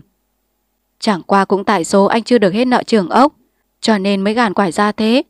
Nhưng cứ như tài học của anh, thì thi lúc nào có thể đỗ ngay lúc ấy. Miễn là anh còn được đi thi, chẳng làm gì mà phải chán nản. Vân Hạc chỉ cười không đáp, khắc mẫn tiếp. Khốn nạn, thân anh ngẻ long bây giờ mới đáng thương chứ. Vân Hạc đốc cùng đều tỏ ra vẻ kinh ngạc. Anh ta làm sao? Khắc mẫn đáp. Vừa mới có chỉ phải đi tiền quân hiệu lực, Cụ ngẻ Quỳnh Lâm thoáng nghe câu đó liền hỏi. Ông Tù Nguyễn nói ai phải đi tiền quân hiệu lực? Khác mẫn khiêm tốn. Bẩm cụ, anh nghe văn khoa chúng tôi. Ông đồ vội đặt chén rượu xuống mâm. Tôi mới nghe nói ông ấy đã đi chi phủ thuận thành kia mà. Khác mẫn thưa. Bẩm vâng, năm ngoái anh ấy được bổ chi phủ thuận thành. Hồi đầu tháng tư đổi ra chi phủ Hải Ninh. Bấy giờ đương có giả khách quấy nhiễu ở vùng Duyên Hải. Triều đình có phái đại binh gia tiễu anh ấy cũng phải cầm quân đi đánh một mặt. Chẳng ngờ gặp phải toán giặc rất kiệt hiệt, giao chiến một trận, bao nhiêu lính tráng chết gần hết. Anh ấy chỉ còn một thầy một trò trốn về. Việc đó tâu vào trong triều, triều đình chiếu luật ngộ thất quân cơ, đã định trị tội đúng như quân Pháp. Sau nhờ hoàng thượng có lòng nhân từ, mới giảm xuống tội tiền quân hiệu lực. Cụ cử liên chỉ cũng hỏi, có thật thế không? Khắc mẫn đáp, bẩm thật thế ạ, tôi vừa chơi ở văn khoa giang đây, cứ như cụ cố nói lại, thì trước đây 10 ngày, anh Ngải Long đã phải giải vào Quảng Nam để dung đội tiên phong đánh mọi thạch bích. Vân Hạc phàn nàn. Nghẻ Long cũng là một bậc thông minh có tài. Nếu được từng trải việc đời, chắc sẽ thành ra một người đài dụng, có thể giúp dân giúp nước được nhiều việc. Nhưng mà bây giờ vừa mới thi đỗ, còn là một anh thiếu niên thư sinh. Gần nửa đời người chỉ được nghiền ngẫm kinh nghĩa thơ phú, chưa nghe tiếng súng lần nào. Thế mà nhất đán phải đi cầm quân đánh giặc. Cả đám nghe tin, ai cũng ngại cho Trần Đăng Long. Mặt trời tà tà, tiệc vừa tan, ông đổ vì mừng Vân Hạc được về, muốn lưu tất cả khách khứa ở lại đến mai. Nhưng mà các cụ sợ rằng Vân Hạc đi xa mới về, chắc trong mình còn mệt nhọc. Nếu lại thức thêm đêm nữa, không khéo có khi bị bệnh. Cho nên ai nấy đều khất đến ngày cho cưới cô Bích sẽ lại đến chơi. Rồi đó các cụ và họ nhà trai lũ lượt ra về. Hải Âu đoàn bằng tiêm hồng khác mẫn, cũng bị cụ bảng tiên kiều bắt phải sang chơi bên ấy. Quang cảnh trong nhà lúc ấy lại bình tĩnh như mọi khi. Người nhà dọn dẹp vừa xong thì trời vừa tối. Ông đổ bà đồ vì mấy đêm trước thức luôn, cho nên đêm ấy, sau khi hỏi Han Vân Hạc ít câu, cả hai đều đi ngủ trước. Ở nhà học chỉ có cô Ngọc với chàng. Dưới ánh sáng rực rỡ của ngọn đèn đầy dầu, cô trông mặt chồng tuy vẫn tươi trẻ như xưa, nhưng vì mấy tháng ăn gió nằm xương, da thịt cũng có xanh xao gầy rút hơn lúc ở nhà. Bụng cô rất băn khoăn thương hại. Khi nghe chàng kể lại những nỗi nguy hiểm ở dọc đường, thì cô thường xót không biết chừng nào. Có lúc hai hàng nước mắt chảy ra chan chứa. Rồi cô vỗ vào vai chàng và nói bằng giọng âu yếm. Chỉ vì tôi muốn được làm bà thám bà bảng, suýt nữa làm cho chồng tôi chết oan. Mình có giận tôi hay không? Vân Hạc mỉm cười. Giận lắm chứ, làm khổ người ta như thế, ai mà không giận.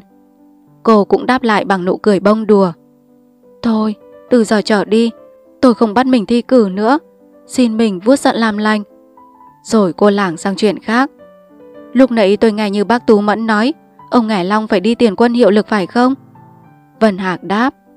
Phải, tội nghiệp, tôi thương anh ấy quá chừng. Cô phàn nàn. Chết chưa, ông ấy lưng sức học trò, mà phải đi vào những chỗ mọi dọ ma thiêng nước độc, thì chịu sao nổi. Thình lình nghĩ đến câu kiều của mình bói được ngày trước, cô liền đọc cho chồng nghe. Vân Hạc lại cười và hỏi. Mình có nhớ cái bài nhàn ngâm của cụ Nguyễn Công Trứ không? Cô ngờ ngẩn. Bài ấy thế nào? Tôi chưa được nghe bao giờ. Vân Hà gật gù đáp. Bài ấy như vậy. Ngồi rồi mà trách ông xanh. Cơn vui muốn khóc, buồn tênh lại cười. Cô cướp nhời. Thế thì tôi biết, còn bốn câu nữa thế này. Và cô thỏ thẻ đọc tiếp. Kiếp sau xin chớ làm người, làm cây thông đứng giữa trời mà gieo. Giữa trời vách đá treo leo, ai mà chịu xét thì trèo với thông. Bấy giờ đêm đã canh ba, bốn bề không còn tiếng động, vầng trăng vàng vạc nhòm vào cửa sổ, như cũng thèm sự tương đắc của cặp vợ chồng, chung một tâm hồn.